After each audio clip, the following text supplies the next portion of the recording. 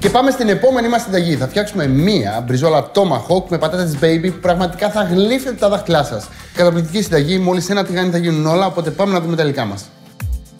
Για την μπριζόλα Tomahawk με πατάτες baby θα χρειαστούμε 800 γραμμάρια μπριζόλα Tomahawk, μία κουταλιά της σούπας ελαιόλαδο, 2 κλωναράκια δενδρολίβανο, 3 κλωνάρια θυμάρι, μία σκελίδα σκόρδο, 50 γραμμάρια βούτυρο λούρπα κανάλατο σε αλουμινόφυλλο, 400 γραμμάρια πατάτες baby βρασμένες και αλάτι. Και πάμε να ξεκινήσουμε. Λοιπόν, εδώ πέρα έχουμε αρκετή θεωρία. Λοιπόν, αυτή η μπριζόλα ουσιαστικά είναι μια σπαλομπριζόλα. Έχει σπάλα. Που σημαίνει ότι μπορούμε να την ψήσουμε 100% σε ένα τηγάνι. Απλά τι γίνεται, επειδή έχει attached το κομμάτι από το κόκαλο πάνω, που είναι πάρα πολύ γευστικό. Εδώ πέρα αυτό το σημείο που έχει κρεατάκι είναι το πιο γευστικό σημείο που υπάρχει. Είναι τα ribs, τα μοσχαρίσια που λέμε. Πρέπει να δώσουμε λίγο προσοχή. Λούζοντας με βούτυρο, χαμηλώνοντας τη θερμοκρασία και αρροζάροντα πάνω στο κρέας να ψήσουμε 100% το κρέας μας. Τώρα εμείς τι θα κάνουμε; Ουσιαστικά θα δώσουμε γρήγορα χρώμα στην πριζόλα μας και θα τελειώσουμε το ψήσουμε μέσα στο φούρνο. Και αυτό γίνεται. Βέβαια, με το φούρνο είμαστε πιο σίγουροι ότι σε περίπτωση που δεν έχετε εμπειρία θα πετύχετε να τη φτιάξετε. Οπότε ε, δεν έχει σωστό και λάθος και οι δύο τρόποι είναι σωστοί. Εφόσον χρησιμοποιήσουμε αρκετό βούτυρο που θα χρησιμοποιήσουμε και εδώ πέρα, πάλι η μπριζόλα μας θα βγει το ίδιο καλή. Εντάξει, φίλε μου. Λοιπόν, θα λατήσουμε καλά. Πιπέρι, σε αυτό το σημείο δεν θα ρίξουμε στην πριζόλα, γιατί σε περίπτωση που θέλουμε να ψήσουμε την πριζόλα μας 100% στο τηγάνι, μπορεί να μας πάρει περίπου 10 με 15 λεπτάκια, εφόσον είναι πιο χοντρή. Οπότε, άμα ρίξω και πιπέρι, θα γίνει το πιπέρι, θα πικρίσει. Γι' αυτό το, ναι, βάζουμε μόνο αλάτι, Αφήνουμε το αλάτι να πάει καλά στην πριζόλα μας και όπως βλέπετε το αλάτι κατευθείαν το ρούφηξε η πριζόλα. Το χρειαζόταν. Ήθελε λίγο αλατάκι και έτσι όπως είναι θα ξεκινήσουμε με ελάχιστο λάδι, ελαιόλαδο. Βούτυρο δεν βάζουμε στην αρχή γιατί θα καεί. Θέλουμε δυνατά τη φωτιά μας. Θέλουμε να καίει η φωτιά μας. Και έτσι όπως είναι, έχω ρίξει την πριζόλα μου μέσα και όπως βλέπετε, ακόμα και το μεγάλο τηγάνι που έχω χρησιμοποιήσει, πάλι είναι δύσκολο να τη βάλω όλη μέσα. Γι' αυτό το λόγο τη βάζουμε συνήθως σε σχάρα. Απλά τι γίνεται στη σχάρα, όλα αυτά τα ωραία λιπαρά Πέφτουν κάτω. πέφτουν κάτω και χάνονται. Δηλαδή δεν υπάρχει κανένας λόγος να το κάνετε. Τώρα, όπως βλέπετε και εμένα μου είναι σχεδόν αδύνατο να δώσω ωραίο χρώμα σε αυτό το σημείο της μπριζόλας γιατί είναι το κόκαλο. Και το κόκαλο πάντα δεν θα είναι ίσιο 100%. Οπότε τι κάνω, φροντίζω να πάρει ωραίο χρώμα η μπριζόλα μου και ο φούρνος μου θα φροντίσει στη συνέχεια να κάνει όλα τα υπόλοιπα. Μην το φοβάστε, Ζητήστε από το χασάπι σας να σας κόψει μια ωραία σπαλμπριζόλα μαζί με το κόκαλο, μια tomahawk και πιστέψτε με, στο τέλος η όλη φάση θα είναι εμπειρία 100% ό,τι και να κάνετε. Λοιπόν, να γυρίσω. Έχει πάρει. Έχει πάρει. Πέρα. Βλέπεις εδώ πέρα, το κρεατάκι μου, το κόκαλο δεν έχει πάρει καθόλου χρώμα. Λογικό. Γι' αυτό το λόγο σου είπα ότι άμα τελειώσουμε την μπριζόλα στο τηγάνι, πρέπει να φροντίσουμε να πάει το βούτυρο παντού, να δώσουμε περισσότερη σημασία. Πρέπει πραγματικά να ασχοληθούμε με το κρέας μας και να μην πετάξουμε το κρέας πάνω σε ένα τηγάνι και να φύγουμε από την κουζίνα. Το καταλαβαίνεις.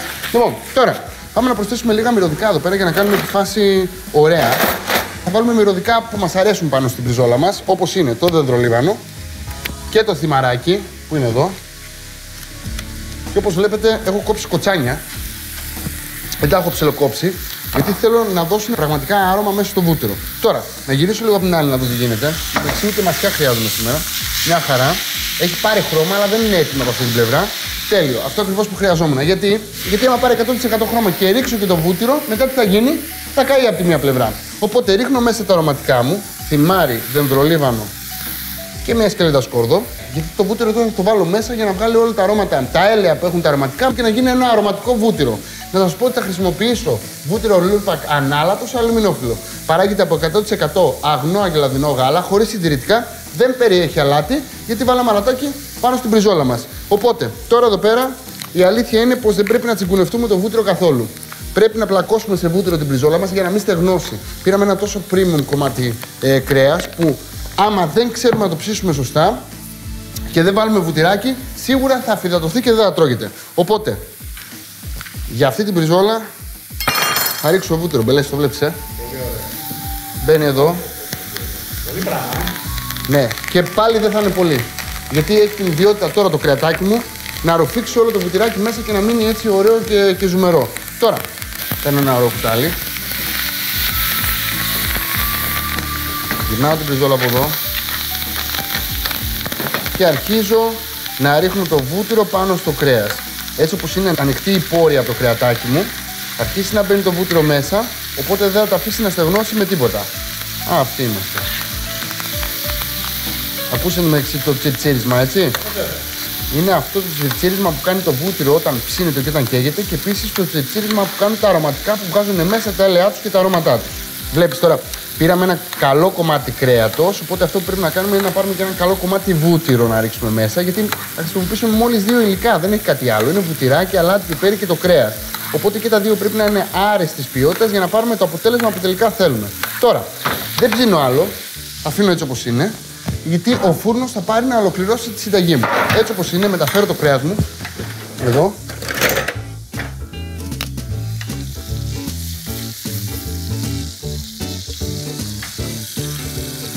Σε ένα ωραίο ταψάκι. Έχω βράσει λίγες πατατούλες baby. Θα τις σπάσω έτσι όπως είναι, θα τις ρίξω μέσα.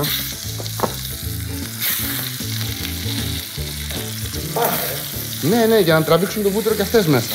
Εδώ. Και κάνω ένα ωραίο ανακάτωμα.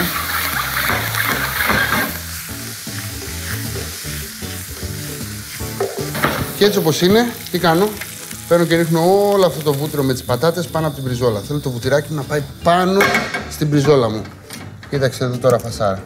Ε, λοιπόν, ο φούρνος μου τώρα είναι προθερμασμένος στους 200 βαθμούς και θα ψήσω αυτό το μεγέθο της μπριζόλα θέλει περίπου 5 με 7 λεπτάκια, δεν θέλει παραπάνω. Σε περίπτωση που έχετε πιο χοντρή μπριζόλα θα χρειαστεί παραπάνω. Εντάξει, οπότε πάει αυτό μέσα. Και σε 8 λεπτά τρώμε. Δεν είναι φανταστικό, ρε φίλε. Σήμερα δώσαμε λίγα παραπάνω χρήματα για να πάρουμε μία premium μπριζόλα. Οπότε τι χρειάζεται να κάνουμε λιγότερο, μαγείρεμα. Όταν δίνετε παραπάνω χρήματα, να θυμάστε πάντα ότι πρέπει να μαγειρεύετε λιγότερο. Εντάξει, άρα σε πόση ώρα τρώμε; Σε 5 λεπτά.